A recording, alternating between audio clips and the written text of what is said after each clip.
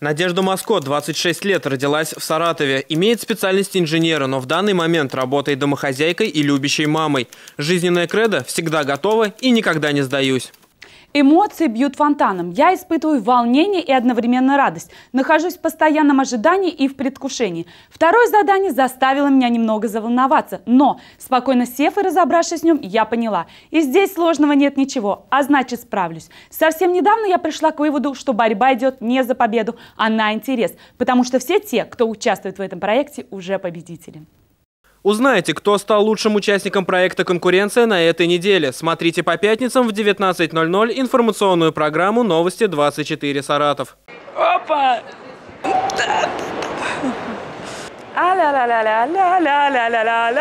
Проект «Конкуренция» смотрите по будням в 7 утра и 19 часов вечера.